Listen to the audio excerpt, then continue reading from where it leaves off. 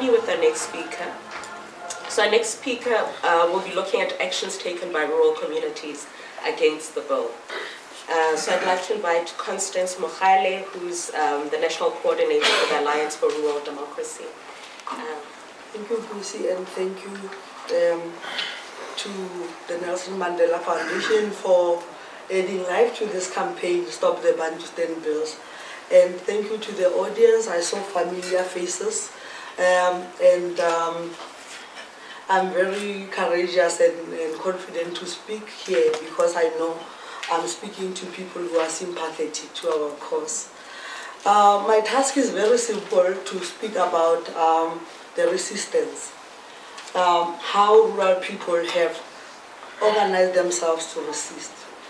And uh, it, it, was long before 94, uh, like uh, uh, Sis already alluded to the history from the Black uh, Authorities Act to date. And I would just speak on um, the resistance in the times of my life where I, I could witness. And uh, starting far back from the, um, the Communal Land Rights Act and uh, how uh, the people of um, uh, the Gaofontein community, the communities in Limpopo, Makuleke community, uh, uh, testified and uh, made it possible for Clara to be taken out of uh, the role. And um, during that time, we, I mean, we are, all of us, we want tenure security in the rural areas.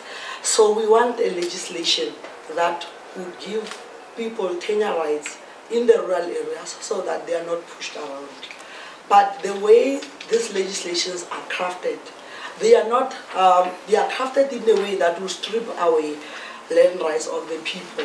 And it is the people who first organize themselves and come to whoever NGOs and make sure that the litigation partners come and um, there is a case. So um, it was a victory for us to see Clara scrapped out of the role and um, confirming that any legislation that is going to be uh, giving tenure rights to communal must recognize the nested nature of family rights, village rights, and group rights. It must come from below. It must uh, regulate what is already a practice in a certain village. The Constitutional Court emphasized on the legislation that is going to unite South Africa Africans, not entrench apartheid boundaries and entrench the patriarchal nature of the bad practices of customary law. So, and that is how the Clara was struck out of the role and we were hoping that any legislation that was going to follow is going to take, make sure that it meets those constitutional obligations. But to our surprise, we see the traditional courts bill. Uh, this traditional courts bill, in fact, it is the reason why the Alliance for Rural Democracy exists today. Because we found ourselves in a room from different provinces, different languages, saying the same things. And because what the people of Bakgatla in the Northwest are experiencing. It is the same thing that the people of Xolobeni are experiencing. It is the same thing that the people of Mapela are experiencing. And we, we see this as a structural problem which needs structural solution, which these people to resist. And I really want to applaud these communities that has made sure that they stood up and made sure that um, these laws are brought into force and the public can know about them. So I know that even though there's litigation cases in each and every cases, this thing still comes back into the radar of parliament. We don't know how. So we remember the Gala communities who, who, emphasize that a leader must be from the people. So like Sis Lombo so we always say, inkosi iyanyulwa. Ayiyehli like umoya ongcwele it doesn't come like a holy spirit from above. You understand? It must come from below. But it seems like all these voices, we are speaking to a toy phone because nobody's listening. We don't know why.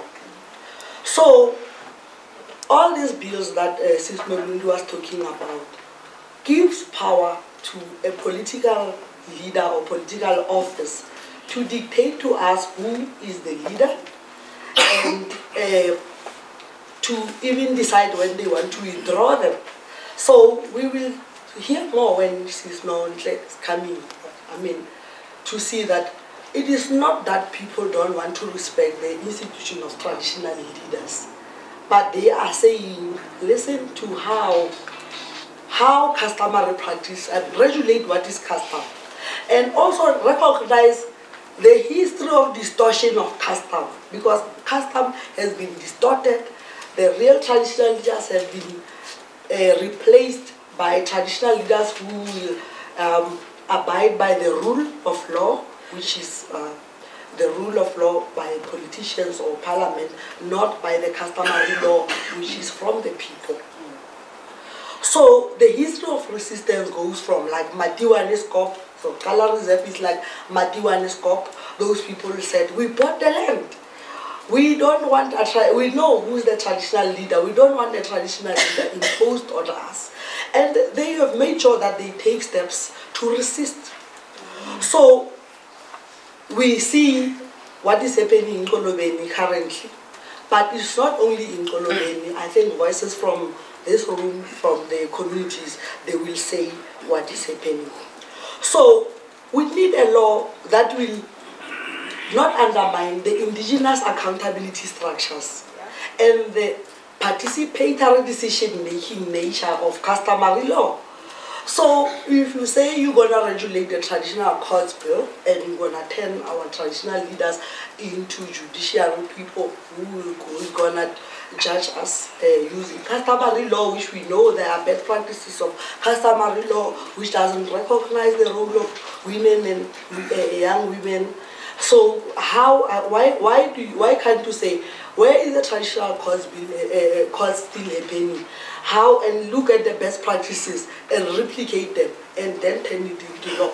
Yes, access to justice has to be near to the people. We know how our judiciary courts are not um, a conducive, providing a conducive environment for people. But in the way that we're going to turn traditional leaders into customary courts, which are going now, I, I used to sit in the uh, reference group, which was redrafting the now the current um, uh, bill, which is all our, uh, our suggestions are allowed, not there in that bill. So we tried to resist. We wrote letters to the deputy uh, uh, John Jeffery saying, why do you spend time with us in a reference group for six months, then the final product doesn't show what a civil society we are proposing. We wrote letters to the president. We even wrote, you know, uh, we, we even went to Pretoria, even to Cape Town. We marched to Cape Town. We, we submitted a memorandum just an acknowledgement from Cape Town, nothing. From the Union Building, which was on the 5 June, we just get an acknowledgement. We wonder, you know, we, because this is a, there has been a resistance, a non-violent resistance, where as rural people, we are saying, you know, listen to us. Who is our advocate? But no answer, no acknowledgement. So this is, uh, it's not like people are folding arms and not doing anything about it.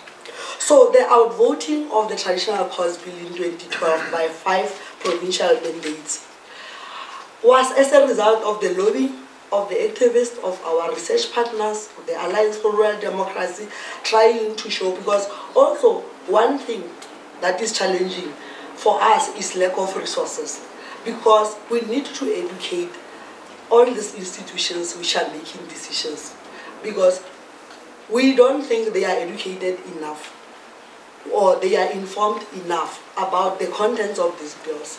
We went to the public hearings and you could see that the, the, the, the committee hears about these arguments for the first time. Mm. So also the, the litigation cases I mentioned, Clara, but the Lamosa case was also outlined how public participation should be.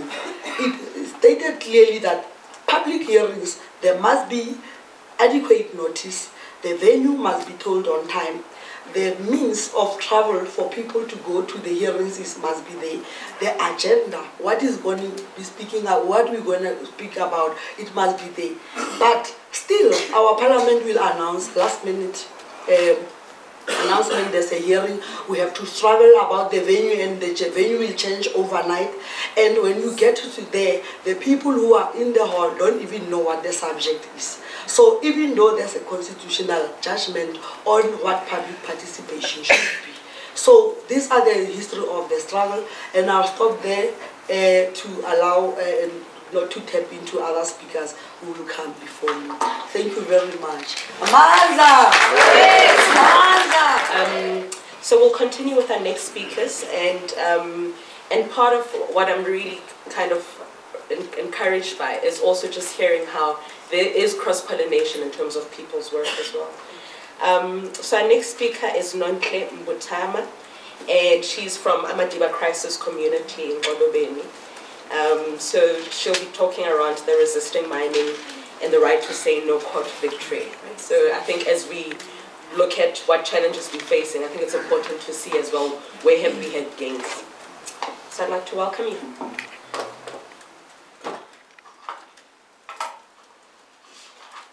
Um, good morning. Good morning. How are you? I am fine. Yeah. Uh, I, I don't know what's wrong with my surname. It's always uh, people pronounce wrong. I'm Butuma. I think I was thinking it's the easiest uh, in African surnames, but I just noticed it's the most difficult one. Um, yeah. Uh, in Xolobeni, we are facing with the proposed mining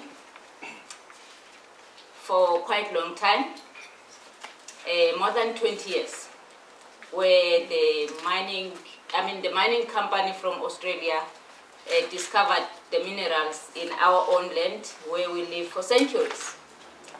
And uh, when they discovered this titanium, we said, um, no, we don't need minerals. We're not eating minerals, we eat food. We eat um, madumbis, we eat sweet potatoes, we eat mealies. We don't need um, these minerals of them. Uh, in order to do that, it was not an easy task because the government of South Africa, they just understand that um, minerals are boosting the economy of the South Africa. But uh, whereas South Africans' children are sleeping with hunger on those minerals, that is why we said that in Xolobeni where there's not even one child is sleeping with hunger because we have utilized land to feed ourselves, not to feed um, the Australians. um, yeah, and we said no. But it was not a, an easy task because they said, um, no, we can't say no to a mining because it boosts the economy of uh, South Africa. And we said, no, uh, we have a right to decide what is good for us. And uh, it doesn't matter what we're saying. Uh, the government was keep uh, supporting the mining company to come and push us away from the land. And uh, we decided to take our own state to court, which is the most painful part. Because we are living in a democratic country where we're just hoping that right now it, it, that time it passed where you take your own state to court. It was an apartheid regime where the apartheid government was not listening to the people. But even on this current government, we're still doing the same thing. That means the history repeats itself. Uh, where we said that um, we have a right to say no. Yes. And then we the courts of South Africa, it takes time to understand if this, it can be held in South Africa. because it was the first case where they, they just see there is no mining, but people, they claim their own rights. But eventually they allow. And then it been discussed. And the judgment was being handed down uh, last year in November, where the judge, uh, it says that um, the people of Xolobeni have a fully informed consent because they are the right landholders, not anybody else. But guess what was happening? Because we're so happy when we see that this is the South Africa that we fought for. And this exactly what democracy is. Because when we're going to give a consent, uh, we're going to decide what is good for us. Yeah. But the state says we're going to appeal the decision. Uh, these people cannot decide what is good for them. Uh, we are the government, we're going to decide what is good for them. Because if the judge, it says that uh, the community must give a consent, it's going to cause a chaos. That means it's the company and the government can decide. That is why when we see this uh, bill, this TKL bill, it just goes straight to this appeal of um, the government right now in Xolobeni, where, because if you look at the mining applicant, our chief in Xolobeni, he's a mining applicant. And he's already signing, uh, given a go-ahead with the mining company that must go and mine without a consent of the people because he's a decider. And look at the this TKLB.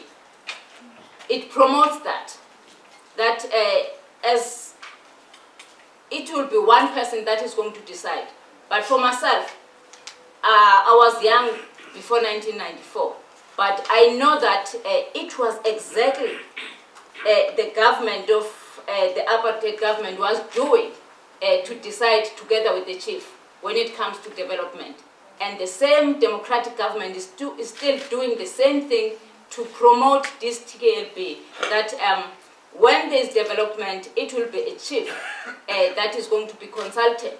And it's not talking about consent, it's talking about consult consultation, which is wrong because consultation is just ticking the box. It's, some, it's something that you just tell the person that I'm here to do this. Yeah. I'm not asking you because you're not going to say anything.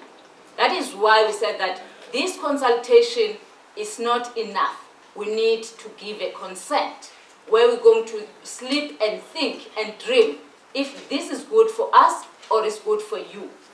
That is why we said that if um, the government is going to promote or pass this TKLB, this country is so undemocratic.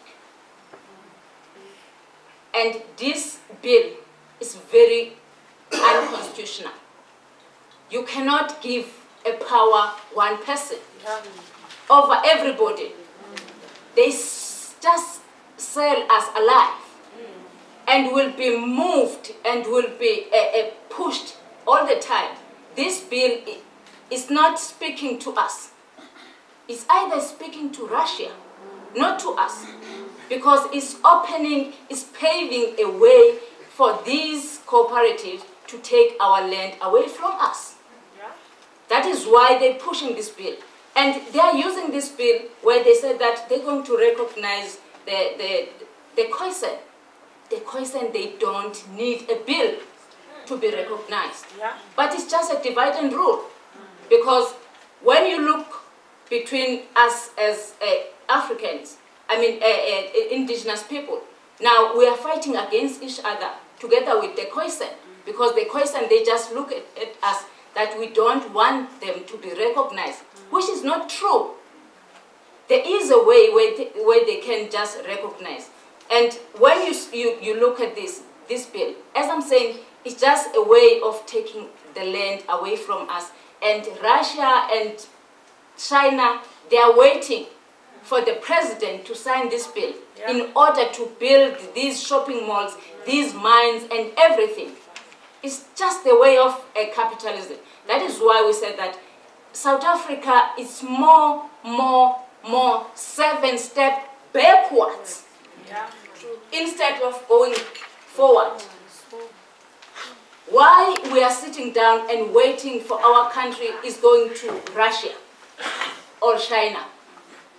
And they are using our traditional leaders. And we are not against the traditional leaders. Yeah. We are for traditional leaders, but we want the traditional leaders that are going to be nominated by us and not by the state. And I can make an example. In Pondoland, we have two kings the king of the state and the king of the community. Because of what they are practicing this TKLB before it's being passed. When there is a meeting of um, a, a- a- a state or the minister, they just brought their own king. And he's not even ashamed to say that you have no choice, I'm your king. That is why we said that um, if Ramaphosa is going to pass this bill, they are not preaching what they preach. Yeah. And we said that we're not going to fold the arms and wait for them because they push us back. Before 1950s, the chiefs were used as a tool of taking our land. Yeah. And what did we do? If they want to push us to back on those times, and we are ready. And we're not going to fold the arms Yeah. Because of they are using our own traditional leaders. And we said to the traditional leaders, even themselves, they must stood up to say that if they want to be safe, they must listen their own people. Because you can even see on this um, eh, eh, eh, case of Xolobeni, the minister of DMR says that uh, he's going to do a survey. But what are the people saying? Why uh, the government is no longer listening to the people? We need the government that is listening to the people. The development is for who? By who? If the development is for us, we need to decide what is good for us. But this development is always top-down approach. It's not coming from the bottom up.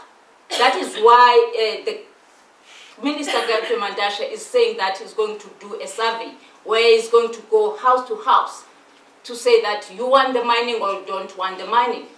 Why is like that? Where is the customer law? What the customer law says? We are living in a customer law. We are living in a traditional system where we decide in a collective way. We don't vote for land. But they are using the land as, as an asset where they're going to sell to anytime when they, they like. That is why we said that we're not going to allow this. And we'll fight if it should be. We're not going to allow. This land that we are sitting right now, we have a history where our forefathers were being executed in Pretoria and they were fighting for this land. And they were given two things the sake of money and the sake of land, of sand. And they choose the sake of sand because they know that the sand will sustain their own children and their grandchildren. They did not choose money.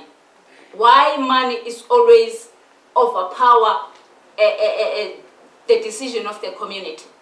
Because now um, it's about making profit over the communities. That is why we said that we're not going to allow this situation in this country. But we need to stand up, all of us, not only one person. Because what they are doing right now, they are talking about mining, mining, mining. And as they said that mining, I mean minerals are diminishing from the land. Now they want to start from the ocean, uh, where they use a nice word, uh, that is an ocean economy. And you can be fooled if you are living in the rural areas. because we use um, to go to beach anytime when we like. We're just thinking that, oh, ocean, economy, we're going to access the mussels and um, the crayfish as much as we like. That's not about us. It's about China. we need to wake up before it's too late. Minerals are diminishing from the earth. And I was even reading the news where they said that the Johannesburg city, the chances of um, Johannesburg city alone to be sustained are very limited. And it's because underground is nothing. Why we thinking for our own selves, not for the next generation?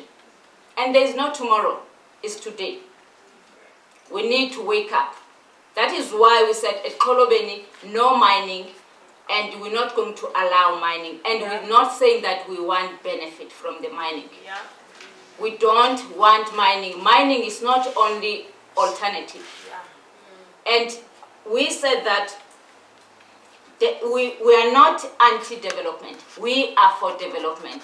And we need a government that is going to listen to the people, not to decide on, on top of the people. That is us. And we're not going to change our mind. Even if they killed some of us to fight on this, we're not going to turn back. And we'll keep fight. We are many. Some people, they always say that these people are powerful. They are not powerful, but they have money. And we are many than them. That is why I said we need to stand up and to be united and to fight the capitalism. Capitalism is so strong. And the capitalists are very few than us. But we are not united. If we are keep not united to, to say that um, we have a right to say no, the capitalist, the capitalism is going to defeat us. That is why we said that we're not going to allow the state. And if this TKLB is going to be passed, we need to be united against and to say no to TKB. Because this TKB is just uh, individualistic.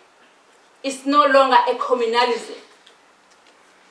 Uh, uh, the state that we have is moving away from a communalism. Communalism is where you are doing things in a collective way. But they don't believe in that. It's on our own hands to fight that. Thank you. So the idea that these people are powerful, Nonhle, when you say that, actually I hear people in Xolobeni are pretty powerful. Yeah. Uh, I think you inspire us and hopefully uh, it gives us courage to what else we need to be doing. Um, so we're going to continue to... Eh, good morning, everybody. My name is Solomon Mabuza. I'm from Mpumalanga, eh, at, at the Nkomazi local municipality. In, in Mpumalanga, people of Mpumalanga left behind in the democracy that, they, uh, that we have voted in 1994.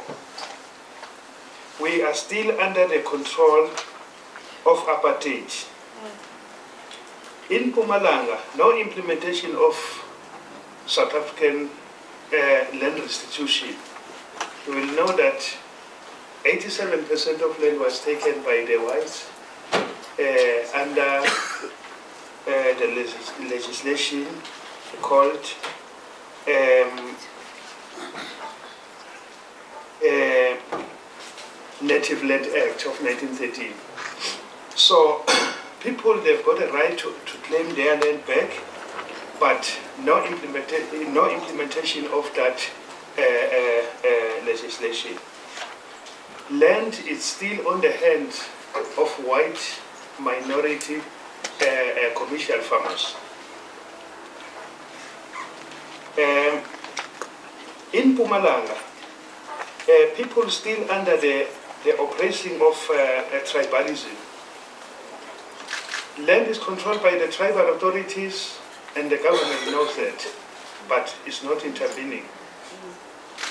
Uh, instead of people using the land that they have been claimed land is using by the tribal authority and the senior government officials. I can make an example with uh, the big claim in Mpumalanga called Tenbosch uh, Land Claim Land Division number 162 JU was passed in 2007, but it's still on the minority commercial farmers and the Lugedlane uh, tribal authority. We need the implementation of that restitution, Act number 22 of 1994. We also need the implementation of uh, the Land Tenure Reform, Act number 112 of 1991. we people of, uh, we rural people, uh, we were oppressed under uh, the Bantustan, uh, it's Act number 68 of 1951. I think there, there has been a misunderstanding uh, to the traditional leaders on that time. When the, the, the apartheid government said they will be the custodian of the 13%, no one has translated what is a, a, a, a what is to be a custodian. They said the, that, that name of custodian, it says they are the owner of the 13%. If you are the custodian, you are not the owner. Uh, but it, up until today, they know that they own the, that 13%. We need the government to do away, away uh, the system of PTOs and RTOs. Uh, now we are in a democratic government. Uh, the Section 25 subsection 6 allows us to, to have a, a land ownership in this country. But we are still under uh, the Act number 68 of 1951. We are still carrying PTOs and, and RTO. Uh, I can make an example, e.g., as I said, with the Tenbosch land claim. Uh, that land, that claim is too big in Mpumalanga. Uh, that land now is owned by the white minority farmers, uh, commercial farmers, and the Lugedlane tribal authority. There is a, a, a tribal authority called Lugedlane. It's in Nkomazi local municipality. They don't know nothing about uh, the law. They don't want to follow any law of government. Something that they know, they say, we are owning land.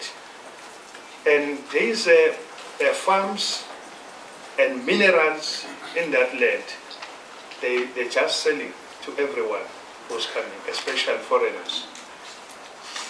Um, in the, there is another tribal authority called Matsamo uh, Tribal Authority. The Matsamo Tribal Authority forces the people to be under the control of Swaziland. The chief of that tribal authority is coming from Swaziland, is Mr. Mduduzi uh, Emmanuel Shongwe. People of Swaziland now they are getting pension and all services in South Africa because they've got their representative, Mr. Mduduzi Shongwe. Uh, the government knows about it. We met a march on the 10th of February 2017. We submitted our, uh, our memorandum to the Premier, but no response. We met another uh, uh, march on the 12th of uh, July this month. We submitted our memorandum, but nothing is happening. So we are requesting uh, the government and other organizations that can assist on that uh, problem that we are facing. Uh, just to shake the government and to remind the government that South Africa is for the people of all who are living on it. But now, uh, in our area, South Africa is for the parliamentary members, senior politicians, and the chiefs. It's undemocratic and it's unconstitutional. So I think there is another farm called Kalbrech. It's next to Malelane uh, in Nkomazi. It's owned by the Matsamo Tribal Authority. That chief who's coming from Swaziland. that chief now, as I'm speaking, is not in the office. but it's an accounting office. Now it's going to end, it's ending two years, it's not in the office, but it's getting salary every month and all services. It's getting free transport, everything. He's staying in Swaziland, he's getting money. In South Africa, he's bringing people, pensioners in South Africa to get a pension and the, the children to get free education. Government knows about it, but it's not intervening. I thank you.